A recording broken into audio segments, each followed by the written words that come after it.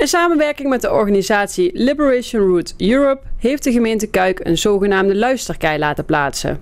De Liberation Route Europe laat toeristen via dergelijke keien beleven wat zich in 1944 en 1945 afspeelde in Brabant en Gelderland. Op bijna 90 locaties liggen veldkeien met informatiepanelen, de zogenaamde luisterplekken. Op iedere luisterplek is een hoorspel te beluisteren over de belevenissen van één of meer personen tijdens de laatste oorlogsjaren. De luisterkei is geplaatst op het pleintje voor Museum Keukelum. Er is voor deze locatie gekozen omdat daar uitstekend zicht is op de situatie uit het verhaal. Het dorp Kuik werd op maandag 18 september 1944 bevrijd door slechts twee Amerikaanse parachutisten. De luisterkei is al operationeel, maar wordt in het voorjaar officieel in gebruik genomen. Hiervoor worden nog bijzondere activiteiten voorbereid.